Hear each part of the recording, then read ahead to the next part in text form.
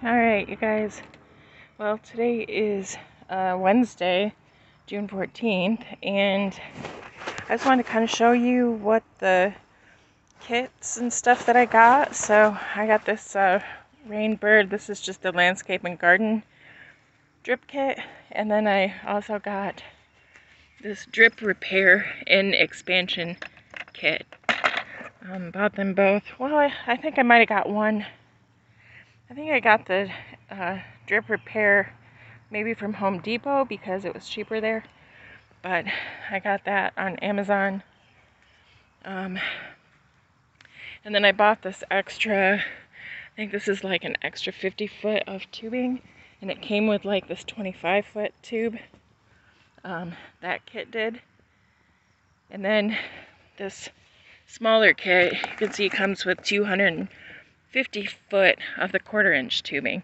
So that one's the half inch and that's what is going to get the majority of the water over there. And then we're going to use the small tubing um, to go to each of the plants. And this, the main kit also came with like 50 foot of this quarter inch tubing. And I have no idea how much we're going to need or anything. And these are like all the quarter inch parts. And then this bag here has most of the half inch. And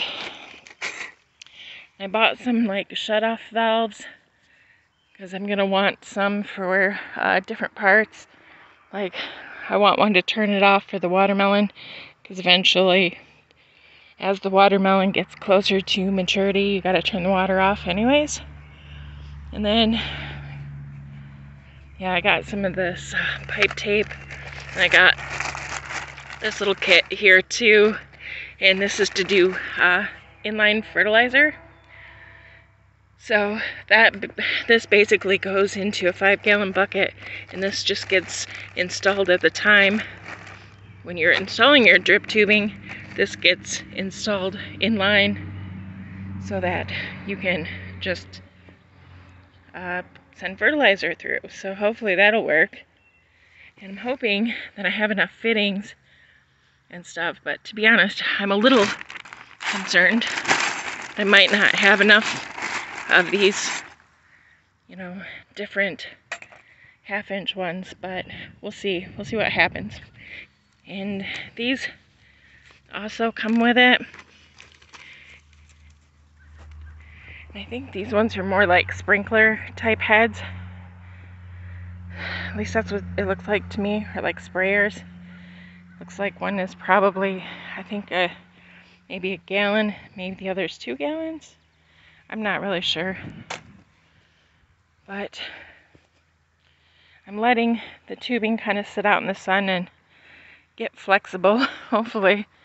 And we'll see what happens. I'm going to have to dig a, a small trench and bury this probably, unless I just run it along the fence there, because I don't take the lawnmower out that way. Um, I use the gate on the other side. So we'll see. I might just run it along the fence for now so that I, in case I screw it up, which is definitely possible. Okay, so these pieces here are kind of like the most important parts. So, um, I'm not entirely sure which one is which. I think this one is the backflow preventer so that uh, dirt, debris, and other stuff can't get back up into your faucet. And then um, one of these also has like a, a little filter. I'll have to look it up and see. Then I think this one, because I can see the PSI on it, um, which is weird because it says 125, but it should be 25, I think. Anyways, uh, one is a water pressure regulator because if you put, if you were to hook this directly into your water system from your faucet, it would blow all of your connections because the pressure is just too high. So, and I bought this. Um, it's been plugged in here for a minute, but um, I just got this uh, little timer thing here. And then this will go onto here, and at the end, that's where uh, your half inch tubing goes on. So I'm gonna get the pipe tape and do that. Okay, so I got that part on, and if you don't know, when you do um, pipe tape, just make sure that uh, you do it, if you're, um, if you're putting it on, screwing it on this way, just make sure you stay clockwise, and uh, you want to go with the thread, um, or the way you're going to be turning it, otherwise it'll just take it off, and it won't be any good. I've done that like a hundred times before. So, okay. And then this is supposed to, I don't know if it'll pop on here. Of course, the sun's down, so. Okay, so I was able to pop that on. I just needed uh, needed two hands because it's kind of tough to go on. And then this just like screws down over the top to hold it in place. So I need two hands again, so I'm gonna do that. All right, and then you just pull on it, make sure make sure it's tight, and then we'll see if it works. So I guess we might as well be surprised together. Let me see if I can turn this off. My left hand is not very good at doing things. Turn that one off. Turn this one on. There's supposed to be a manual, but I don't know if it goes to like I'm not really sure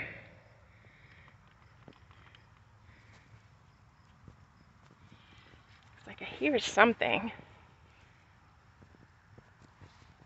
And unfortunately, my faucet drips a little bit. But it doesn't look like there's drips through the rest of the system, so that's good news. It's just it's just this. I don't really know how to it says manual here, but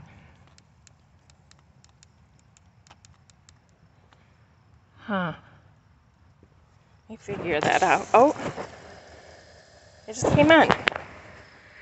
Okay. Yeah, it looks like it's working, so okay. Step one. Okay, so I see like it's counting down. That's how long it's gonna run uh, manually, but I turned it off because I don't need water pooling up over there right now, but good. It didn't blow the connection, nothing's leaking, so looks good so far. Okay, so it's kind of in its temporary home. I think just in order to keep being able to use that gate, I probably will um, just kind of bury it. But I'm going to wait till the end. Make sure I got plenty of room and stuff. So that means I'm also going to kind of cut this like right in this area. Um, just so that it's kind of got plenty of room up onto the fabric. And so that it reaches that first hole and then I'll run it across. I'll probably actually need a T right there so that I can run more of it that way and then also this way. Alright, so far I ended up putting a valve here so that I can turn the whole thing off if I need to. And then I put the T here. So this is going to go somewhere in this neighborhood and there'll be a hose that goes off there and runs the whole length of this and then I'll put the quarter inch tubing off into uh, each hole there. At least that's the plan. Um, and then the kit came with like a handful of these stakes. Not a lot, but I have extra stakes. But so I'm going to stake it down um, at least temporarily so I can kind of work on it as I go. And I'll probably just do it like this or something, I imagine. Not really sure. I suppose I should probably put it Huh. I should probably put it a little bit out like this. Maybe. So that I have room for the plants to kind of grow and get bushy. So I guess we'll just do it like that for now. So when I get to like this row, since this is where the watermelons are going to be, I'm going to put another uh, valve, like I said, so I can just shut it off when they're almost ripe so I don't overload them with water. Otherwise, they won't be very sweet. So, okay, I'll come back and when I've made a little more progress. One thing I'm definitely noticing is I need a lot more of this half inch hose. which is fine. Um, I couldn't, I didn't know how many rows I was going to need, exactly how I was going to do it. And so now that I'm seeing it, I definitely will need more. So originally I started putting the hose on down here. And I think I'm just gonna like, like I kind of cut that off. Um, but I think I'm gonna put one of these on the end because this is like how you stop, you know, like terminate the end of the hose. So I put one down here. So I'll show you. So one end just it goes through look at how dirty my hands are. So the hose just goes through one end, folds itself in half and comes back through. And uh, I'm just staking it one on each end. It seems to be holding it down just fine. Um, and then that too will give me a chance to uh, like poke little holes, you know, to put the smaller hose and the drip emitters and drip emitters and all that stuff in. So I'm still working on it, but um, it's not that easy doing it like as just one person. So I think though I'll have enough for the most part to at least cover the plants that are in the ground right now. And I'm just going to have to order more of this half inch hose. And off Amazon, I think it's, yeah, I either got it from there or again, I might have got it from Home Depot.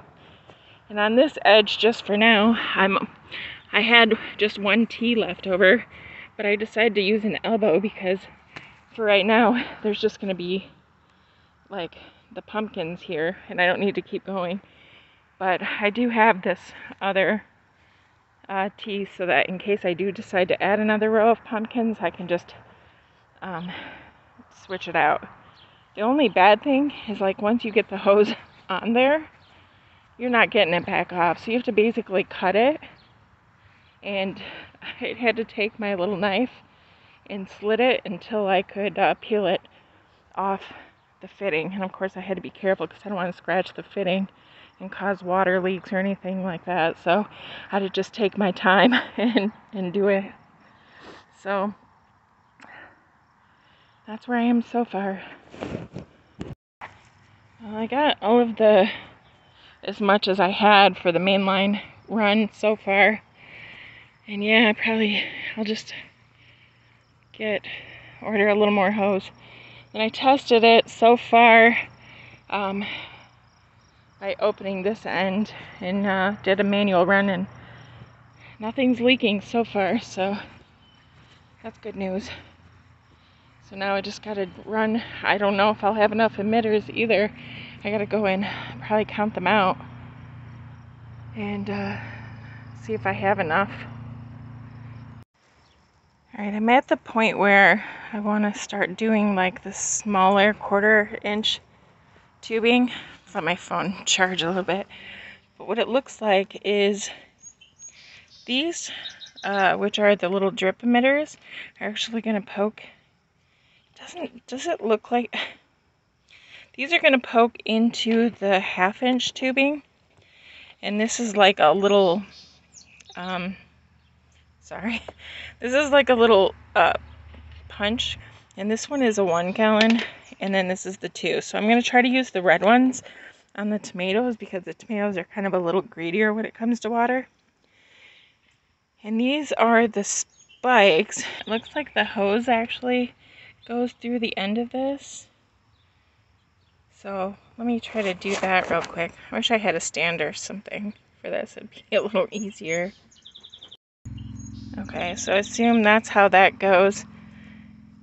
And then that little square piece is like a top cap that goes to hold these two together. Okay, so I put that little top cap on right there. But I think this was supposed to stay attached so that it just like didn't fall off or something. And then I think this little hose piece or this little thing fits on the top. And then it looks like, if you can see in this diagram, this is like the half inch tubing right here. And it looks like this part is gonna like poke into the tubing. And um, one end of the tubing will go into there.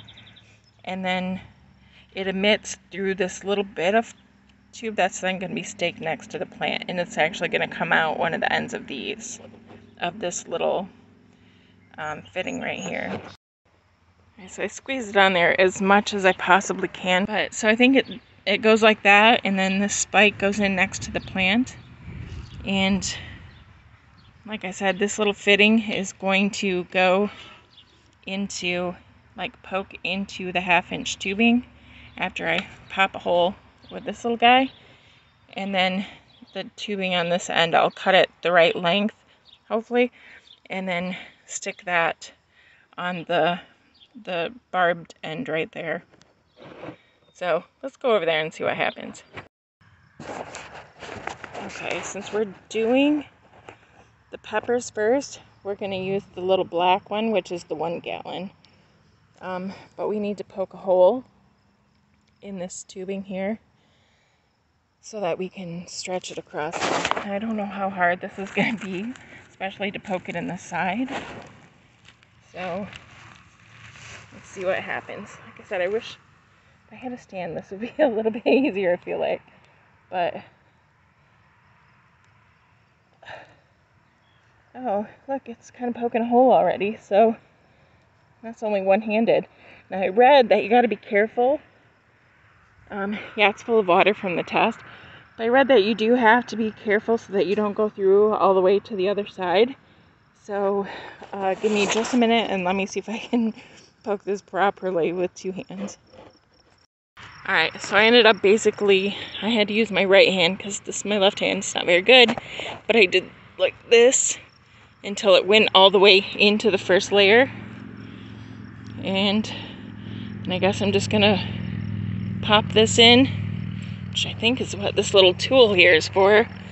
But again, it's kind of hard to hold this and do that at the same time. But uh, let's see, looks like this little hole.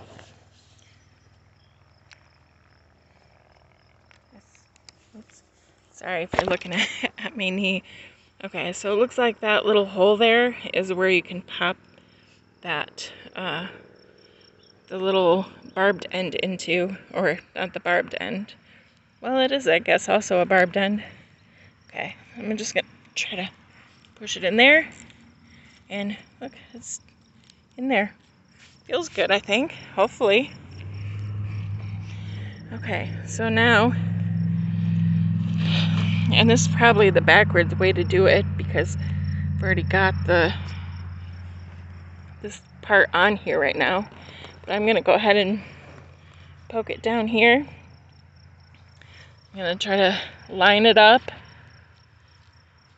And twist that back. And yeah, try to figure out how much I need to cut. I think I can do it like, let's see, make sure I have just a pinch extra so I'm not cutting myself short.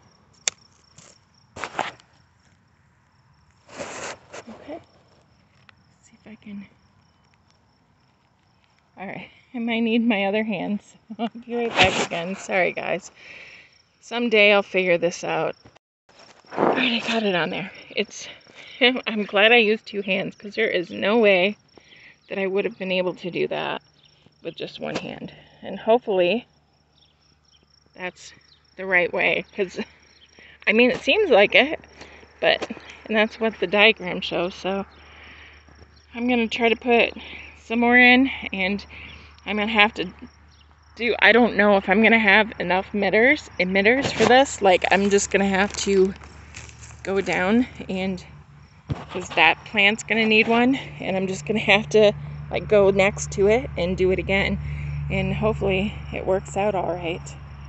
Um, I'm going to make some progress and I will see you back here. Alright, this is what I got so far. Not perfect. I have to order um, I have to order some more of those uh, stakes, I think.